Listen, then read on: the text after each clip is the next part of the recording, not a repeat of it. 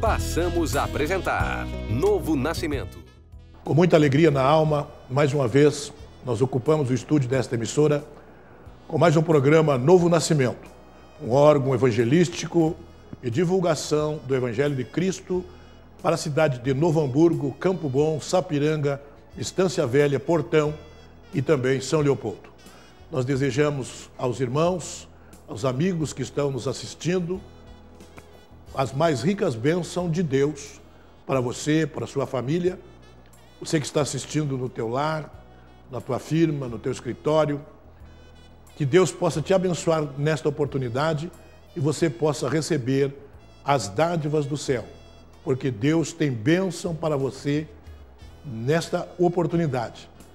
E nós queremos, neste dia, nós continuarmos o assunto que nós iniciamos nos dois últimos programas sobre ouvir, ouvir e aprender a palavra de Deus, aprender as doçura e sentir o paladar da palavra de Deus, assim como é, através do paladar nós sentimos o sabor dos alimentos, através do ouvido nós sentimos o sabor da palavra.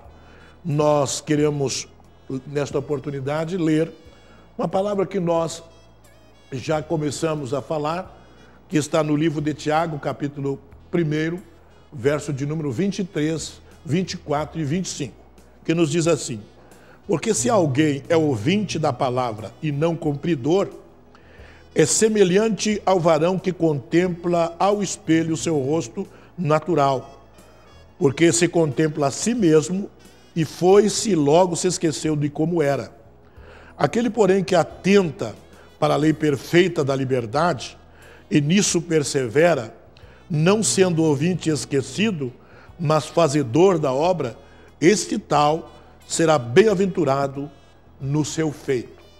Nós falamos sobre o ouvinte esquecido e também o ouvinte praticante da palavra. O ouvinte esquecido e o ouvinte praticante da palavra.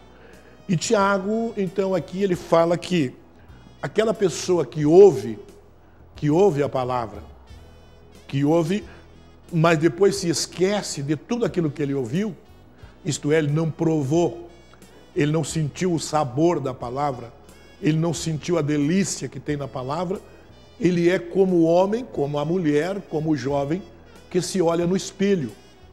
Enquanto ele está se olhando, enquanto ele está se olhando, e ele está contemplando o seu rosto, está, quem sabe, fazendo retoque no seu cabelo, na sua maquiagem, mas logo que ele sai do espelho, ele já não se lembra mais do que, do que ele era, de como era. E, e tanto é verdade que você pode ver que tem, principalmente as mulheres, elas olham às vezes cinco, seis, sete vezes no espelho para a mesma coisa para a mesma coisa. Porque elas se olham e depois se esquece de tudo aquilo que fizeram e volta a retocar, a retocar-se de novo, olhando-se de novo no espelho. Tiago, então, ele faz uma analogia, ele faz um comparativo daquelas pessoas que ouvem a palavra, que ouvem a palavra e não praticam a palavra. São ouvintes esquecidos eles, eles vão, vão da igreja, sentem até bem, sentem até bem. Às vezes eles até choram na igreja, sentem a presença de Deus. Deus fala naquele momento com eles, mas no momento que ele coloca o, a, o seu pé é, para fora da igreja, ou para fora do lugar onde está sendo pregado a palavra, ele não se lembra mais. Ele não se lembra mais. Por isso que nós vemos muitas pessoas que dizem que são crentes, que dizem que são salvos, mas é, as atitudes que eles, que eles têm não é atitude de cristão, não é atitude de salvo. Porque é, a Bíblia diz que aquele que não mentia, aquele que não mentia não deve mentir mais. aquele que roubava não, não, de, não devia roubar mais. Mas nós vemos que muitas pessoas às vezes saem de dentro da igreja e continuam mentindo, continuam mentindo, continuam transgredindo a palavra de Deus, continuam se, continuam se prostituindo, continuam, o, o, muitas vezes o marido continua traindo a esposa, a esposa continua traindo o marido. E aí muitas vezes alguém pergunta, mas ele não está na igreja? Ele não está na igreja? Ele não é, não é um crente, ele não é um salvo? porque aparentemente, aparentemente as aparências, é, diz-nos o ditado que as aparências enganam, as aparências enganam. É, então, muitas vezes ele, ele é um ouvinte, mas é um ouvinte esquecido. Ele nunca teve um encontro com Deus, nunca teve é, um encontro com o Espírito Santo.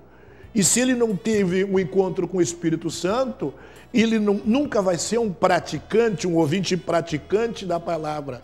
Porque Tiago diz que aquelas pessoas, aquelas pessoas que são praticantes, aquelas pessoas que são ouvintes, que ouvem a palavra e praticam o que está inserido no texto sagrado, eles, eles são bem-aventurados primeiro é, se nós entendermos um pouco o que é bem-aventurado, é uma pessoa mais do que feliz.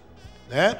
Por, por isso nós não acreditamos, nós não acreditamos que uma pessoa que esteja na igreja, que esteja na igreja, e isto já aconteceu, e, e que muitas vezes eles saem de dentro da igreja e eles fazem todo tipo de atrocidade.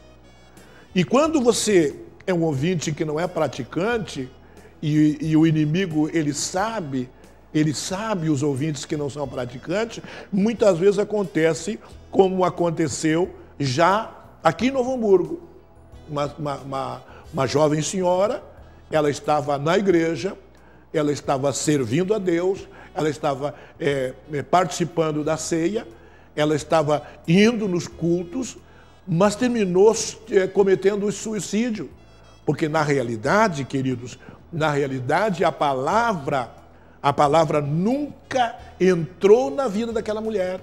Porque a Bíblia diz que quando você, a palavra de Deus entra na tua vida, entra, a palavra de Deus entra na tua vida e você sente o sabor da palavra, você sente o gosto da palavra, é, inimigo não toca.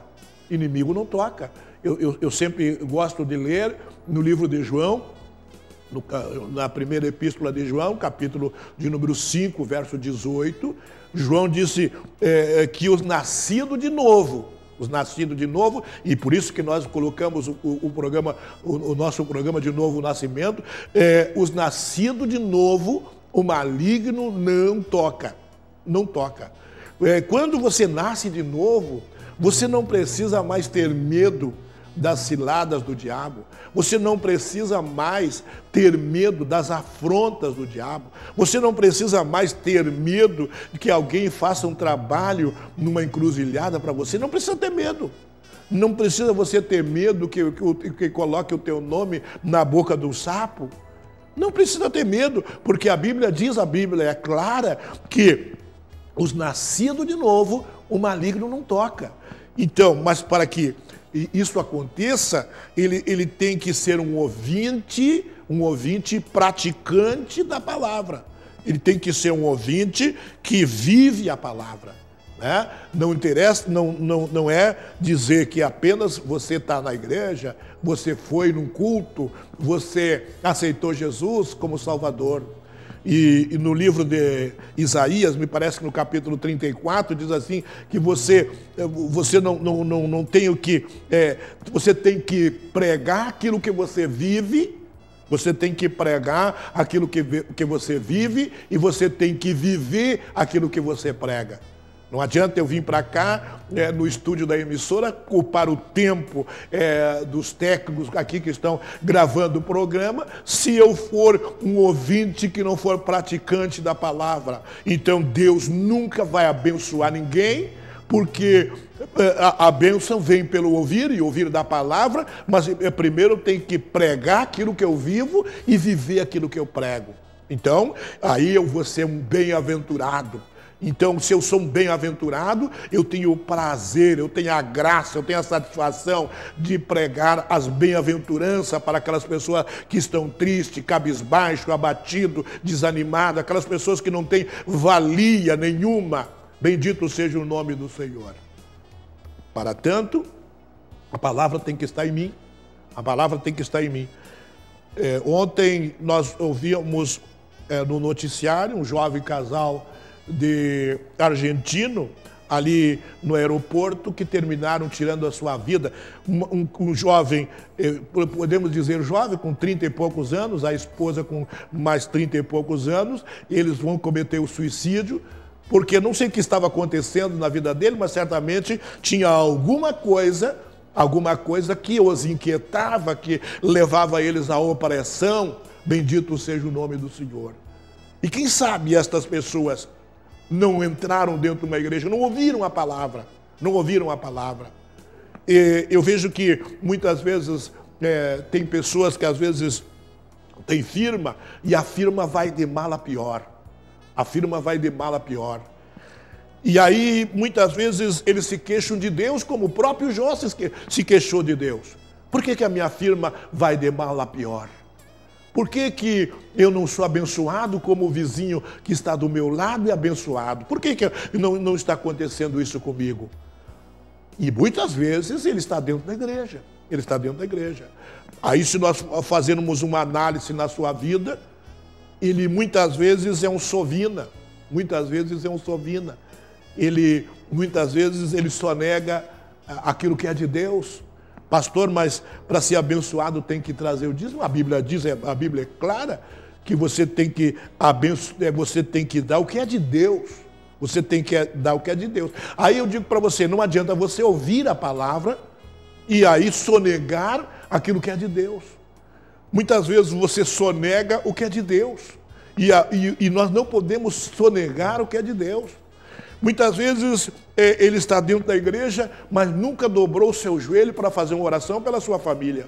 Ele nunca instruiu os seus filhos no caminho que ele deve andar, e a Bíblia diz no livro de Provérbios: instrui o menino, instrui a criança no caminho que ele deve andar, e quando crescer, jamais vai se desviar dele. Então você ouve a palavra, mas você é negligente na palavra, você não é um praticante e aí você só se olha no espelho. Enquanto você está dentro da igreja, você chora, você derrama as suas lágrimas, você pula para cima, às vezes muitos, você, você vê é, muitas pessoas pulando para cima e você diz, mas que crente abençoado. Você vai ver, ele é apenas um ouvinte, não é um ouvinte praticante da palavra. Nós vamos ouvir a mensagem dos nossos colaboradores, nós voltamos em seguida com a continuação desta, desta palavra. Prove a palavra. Viva a palavra. E você vai ver que a tua vida vai mudar. A tua vida vai mudar. Fique ligado, nós voltamos em seguida.